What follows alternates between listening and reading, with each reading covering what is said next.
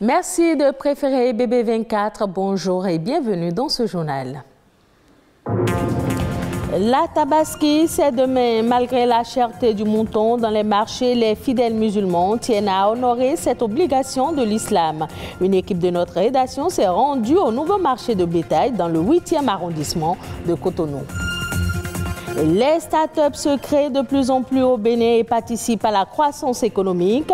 Depuis quelques années, les startups s'établissent sur le marché innovant du numérique. L'environnement est-il propice? C'est à suivre. On parlera également de la sculpture, cette activité artistique qui consiste à concevoir et à réaliser des formes en volume. Les aptitudes à avoir pour être un bon sculpteur, on le découvre dans cette édition.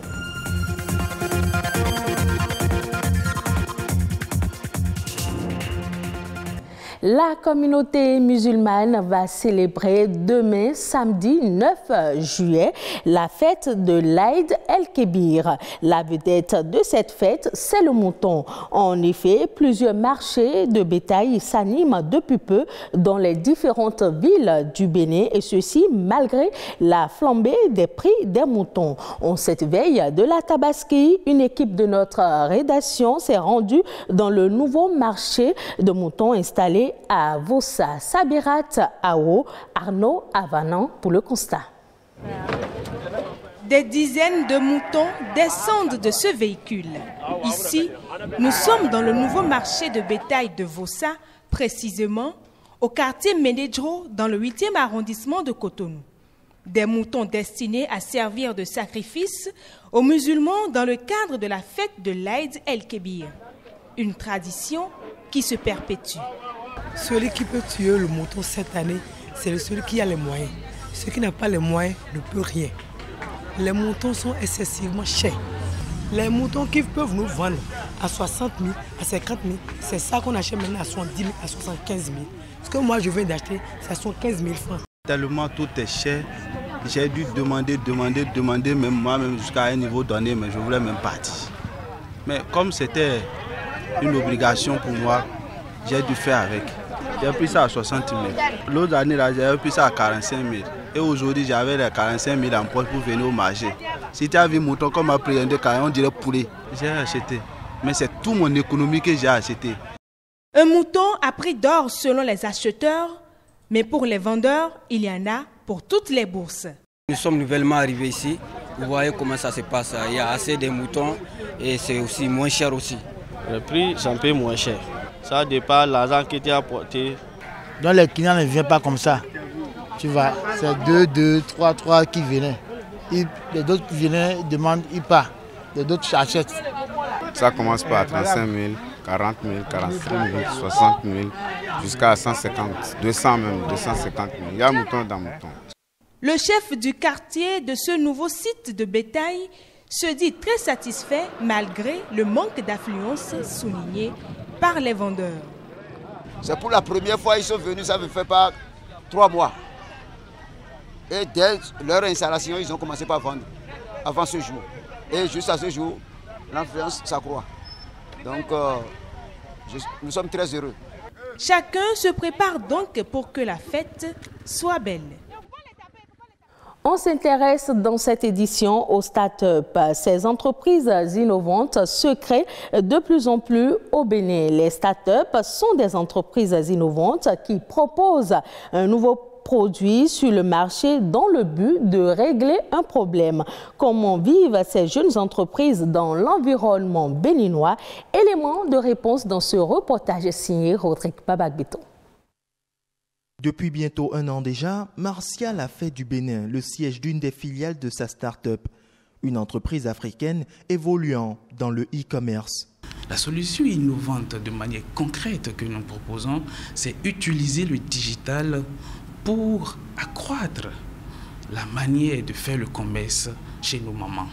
Une idée innovante qui voit le jour à la suite d'expériences personnelles qu'il a vécues à ce jour, sa start-up est présente dans huit pays africains, Mais son rendement pourrait être bien meilleur si le Bénin offrait un environnement identique à celui des sept autres pays. Jusqu'aujourd'hui, en une année d'exercice, nous pouvons dire que ça a évolué, mais particulièrement dans l'environnement béninois, il faut comprendre qu'il y a beaucoup de choses à parfaire beaucoup de choses à parfaire parce que les gens ne maîtrisent pas trop le digital.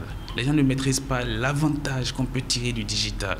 Par contre, dans d'autres pays comme le Sénégal, où nous sommes activement présents, ils ont pris rapidement à bras le corps. Le Ghana, ils ont pris rapidement à bras, le corps parce qu'ils sont plus évolués digitalement que nous. Ici, une jeune pousse gravit les échelons dans le secteur de l'électronique et de l'informatique. À sa tête, Wenceslas, dont voici la récente réalisation.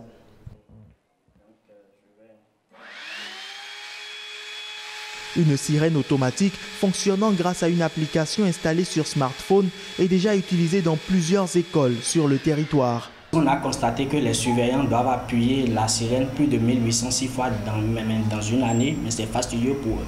Donc nous, on a choisi de créer un système automatique programmable sur smartphone qui joue ces, ces rôles-là à leur place. Il n'y a, en réalité pas de fond de base quand on est un jeune qui vient de commencer et tout. Mais l'idée que nous on a eue, c'est de pouvoir donner des, des, des services à, des structures. Et avec ces, ces sous-là, en réalité, on va financer nos innovations. Une stratégie bien trouvée par Wenceslas et son équipe, mais qui n'est pas évidente pour toute jeune pousse. L'écosystème devrait être meilleur pour leur éclosion. En fait, ce qu'on appelle écosystème de, de, start-up réellement, on n'a pas encore ça. En fait, et c'est ce, ce qui fait réellement que l'émergence des start-up, on ne voit réellement pas ça. Parce que quand on parle d'écosystème en réalité, on a les Fab Labs, on a les universités, les, incubateurs et tout. C'est quand toutes ces choses-là marchent ensemble que les start-up pourront aller plus, plus, plus loin. 7 le gouvernement fait un effort. Mais une start-up, de par sa définition déjà, c'est une entreprise, une jeune pousse. Et donc ça nécessite beaucoup d'investissement. En attendant que cela change, ces deux start-up font leur bonhomme de chemin avec à l'esprit de grands rêves. Qui pour devenir une grande structure de conception électronique, qui pour devenir le géant du e-commerce sur le continent africain?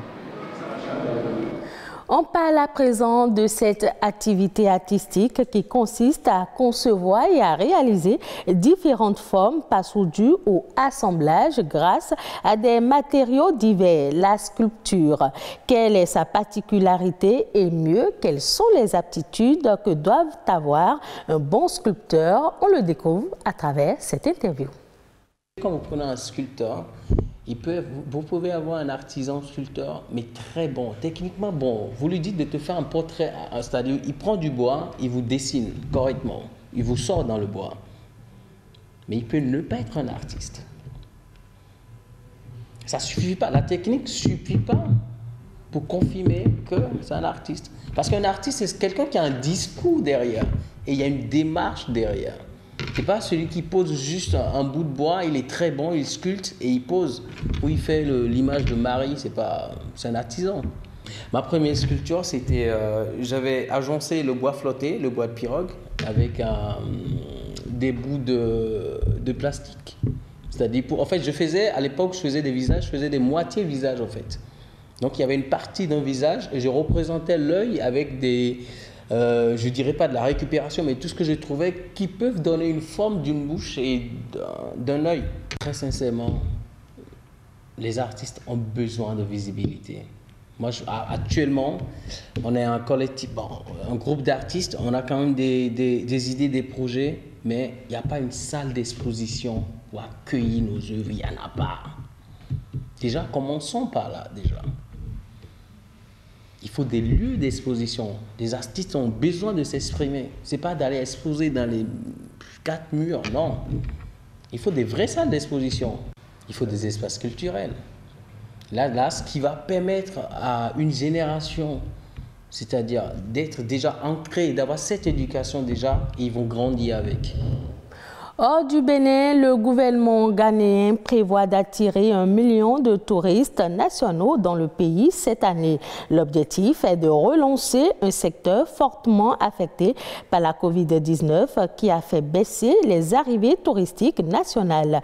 D'ici 2024, Accra souhaite générer 4 milliards de dollars, soit plus de 2 000 milliards de francs CFA de revenus touristiques et ainsi faire du secteur l'un des premiers contributeurs au pays.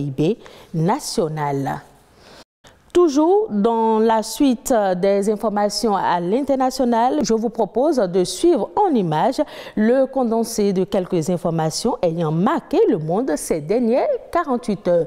C'est une signature de Chalène Kendiho présentée par Héloïse Winatan.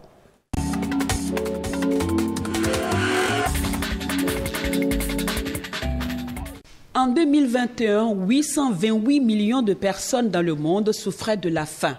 C'est une conclusion issue du dernier rapport sur l'état de la sécurité alimentaire et de la nutrition dans le monde. Ce document, conjointement publié par cinq institutions des Nations Unies, révèle également que le nombre de personnes souffrant de la faim dans le monde connaît une hausse sans cesse chaque année. La situation risque de s'empirer l'année prochaine. Un résultat qui se justifie, selon les auteurs, par l'envolée des prix des denrées alimentaires, du carburant et des engrais à cause de la crise en Ukraine. Une crise qui risque de plonger le monde entier dans la famine. L'Union européenne a versé une somme de 1,3 milliard d'euros, soit environ 1200 milliards de francs CFA au Nigeria Objectif, aider le pays à générer en cinq ans une croissance économique axée sur une agriculture intelligente, à développer les ressources à faible teneur en carbone et à créer des emplois aux jeunes. C'est une initiative que regroupe 60 projets et mesures d'accès au financement. Malgré que le Nigeria soit un gros producteur de pétrole d'Afrique, il est particulièrement touché par les conséquences du changement climatique et peine à réduire les inégalités et la pauvreté.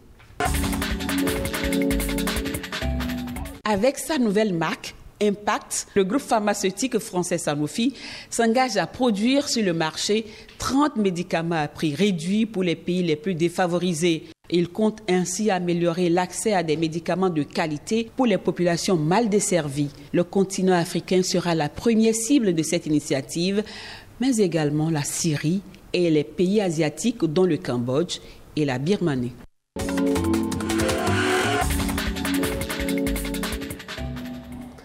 Ainsi se referme cette édition. Merci de l'avoir suivi. Retrouvez ce journal sur le site de l'OETB, www.oetb.bj.